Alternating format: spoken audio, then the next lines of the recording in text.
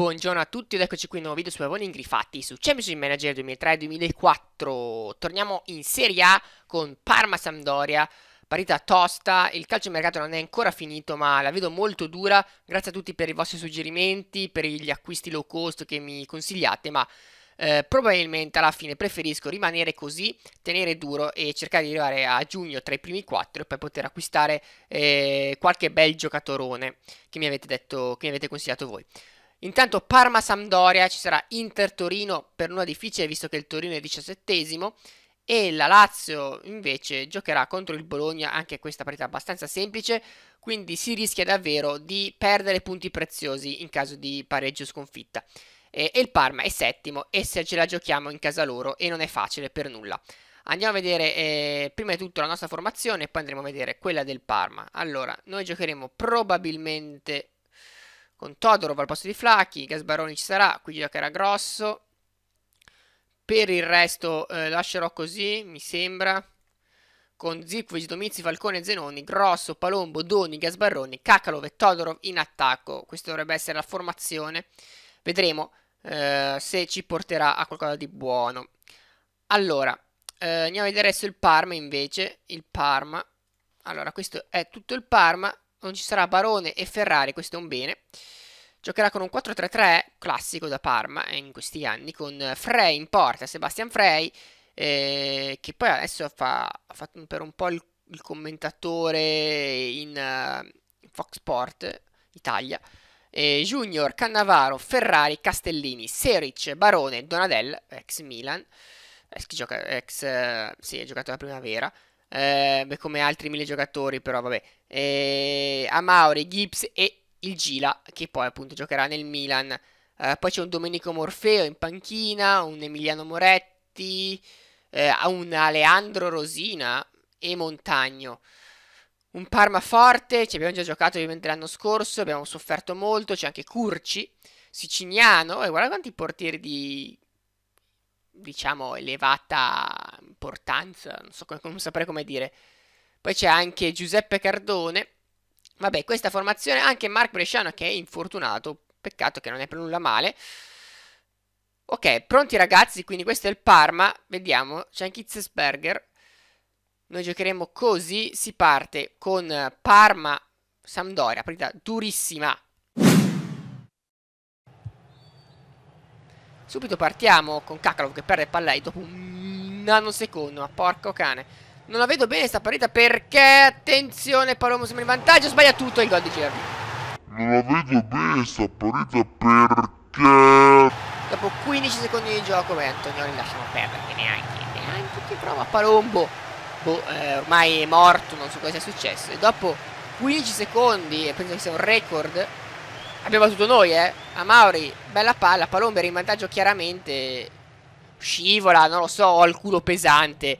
E Gilardino segna un bel gol. Non è colpa di Antonioli sicuramente, ma ormai ogni azione do la colpa ad Antonioli. 1-0 Parma, peggiore inizio della stagione. Io mi sto incazzando, signor Caccalo, mi sto incazzando. Come cazzo fai due volte? Bravo Gasbarroni. Gasbarroni invece è un eroe. Gasbarroni se la allunga bene. Gasbarroni. Gasbarroni. Salva qua sulla linea. Frey, che occasione pa e Parma, Sampdoria, Falcone, Todoro, ottima reazione però. Kakalov ti devi svegliare, Gasbarroni. Gasbarroni, bene perdoni, allarga così così per Kakalov. Kakalov destra per Grosso! Ti, tiro interessante, una palla che esce, andiamo a vedere altri risultati. No, non andiamo a vederli perché la partita è frenetica. Cannavaro, bella palla per Amauri, Amauri, Amauri, Amauri! Antonioni, gran parata, non è finita, salva tutto Falcone, mamma mia, panico e paura in difesa. Junior, 23 minuto. Partita davvero piena di azione. Todorov. Todorov salta Moretti benissimo. Todorov punta l'uomo, ne ha ben tre. Supera anche il secondo. Entra in aria. Mette in mezzo. Salva il portiere. Salva il portiere. Erano in due per il tap-in. Rimessa laterale pericolosa per il Parma. Palla in mezzo per Itzesberger. Gasbarroni recupera palla. Gasbarroni se la allunga ancora una volta. La terza volta che ce la allunghiamo troppo. Bravissimo Gila a recuperare palla. Seric, Cardone, Junior. Junior, bella palla, Palomo superato come un babbaleo. Antonioli non si fa sorprendere. Antonioli si fa sorprendere come 2-0 Parma, meritavamo molto probabilmente il pareggio. Ma è arrivato, eh, arbitro, vai a dirgli qualcosa ad Antonioli perché secondo me è, sta truccando la partita perché non puoi... Questo tiro non puoi non parare sul tuo, sul tuo palo. Ma poi questo tiro centrale, Antonioli, Antonioli, mio Dio Antonioli, mio Dio Antonioli. Quanti errori abbiamo fatto in questa partita, quanti errori, sia in attacco, vabbè, in difesa imbarazzanti. 2-0 Parma. L'Inter è in vantaggio e la Lazio è a un uomo in più, cioè il Bologna in 10. Gasbarrone, stai provando la sua fascia, Gasbarroni, Gasbarroni, metti in mezzo, troppo larga, recupera grosso, ma come tiri, ma come tiri. Gasbarroni, Gasbarroni, 77 minuto. Gasbarroni, non è successo nulla dopo le tre punte. Gasbarroni, Gasbarroni, Gasbarroni in mezzo, buona. Ancora Frey, ancora Frey, Gasbarroni, ancora Frey. Questa differenza tra i portieri però ragazzi, questa differenza tra due portieri. Ottantesimo minuto, Cannavaro, palla lunga a cercare Seric. Ha un po' del rigore, eh, arriva il rigore. Eh, oggi giornata nera comunque, oggi davvero sfortunati. L'Inter vince, la Lazio vince come era da pronostico andrà a batterlo Montagno appena entrato Antonioli Montagno bellamente spiazzato Antonioli 3-0 Parma travolti ingiustamente perché dalle azioni che avete anche visto voi eh, chiaramente meritavamo qualcosa in più anche dalle statistiche partite ora andremo a vederle. Come vedete anzi abbiamo fatto più tiri noi porta anzi loro adesso con questo rigore ma comunque da 3 a 0 a... Cioè, parlare di 3 a 0 mi sembra un po' esagerato. Eh, e da due partite che non segniamo, 5 gol subiti in due partite. Malissimo, malissimo. L'avevo detto che non mi sentivo fiducioso per questa partita. Così è stato. Eh, sentivo un po' di problemi alla squadra. E quindi ora ci troviamo al terzo posto. Eh, rischiamo anche l'arrivo della Roma.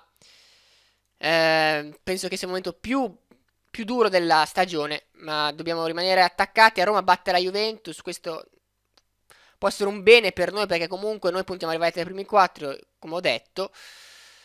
E ora vediamo la prossima partita, infortuni su infortuni, ma non ci interessa. Io voglio andare a vedere quanto mi costa... Uh, come cacchio si chiamava?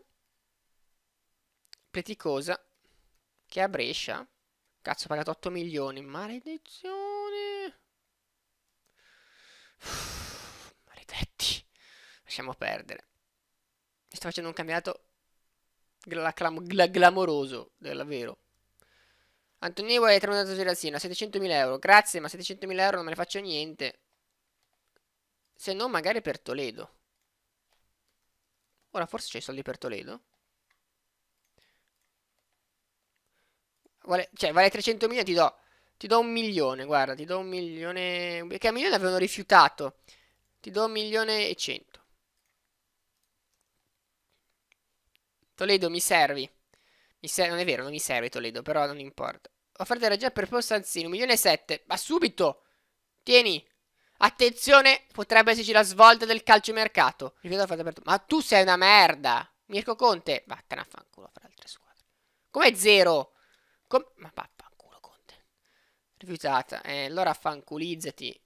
Fanculizzati Toledo. Fanculizzati. Mi serve tanto. Allora, dov'era Danimarca? Lì che cazzo è Danimarca? Eccolo qui. Albrechten.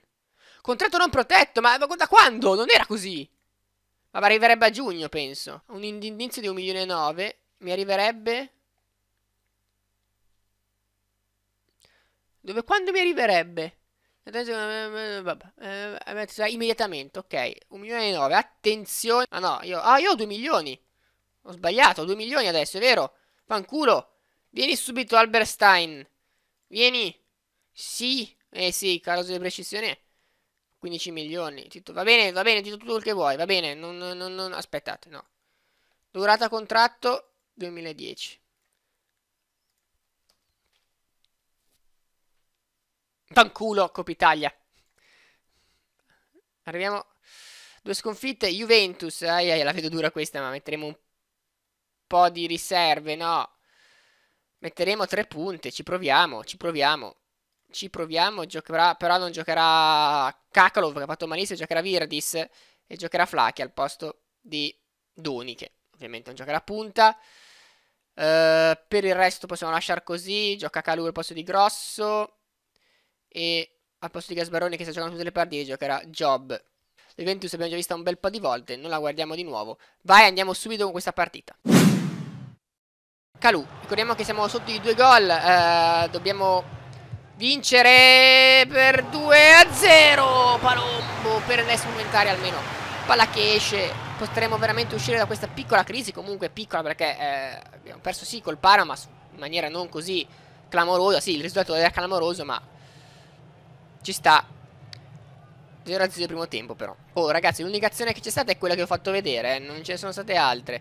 Turam se ne va come un bel imbusto. Bazzani Antonioli blocca. Zivkovic Palla per Flacchi Flacchi per Zivkovic. Bene per Calù Calù Calù Entra in aria c'è Turam Calù mette in mezzo bene. Ancora una volta se la si salvano Job il tiraggio che quasi diventa un assist per Virdis fuori Punizione Volpi 91 minuto Ormai c'è poca speranze Dai 40 metri 35 metri Superare Gigi mi sembra difficile E probabilmente finirà qua il match Questa sarà la terza partita consecutiva Mai successo che non segniamo Almeno però non abbiamo subito gol Questo è il lato positivo Finisce così 3-0 per la Juve, eh sì, 0-0 ma 2-0 per la Juventus, quindi salutiamo la Coppa Italia. Eh, Roma travolge il Brescia in 10, incredibile. Va bene così, mm, comunque è stata una partita che abbiamo dominato un po' noi, senza fare nulla di che, ma ci sta.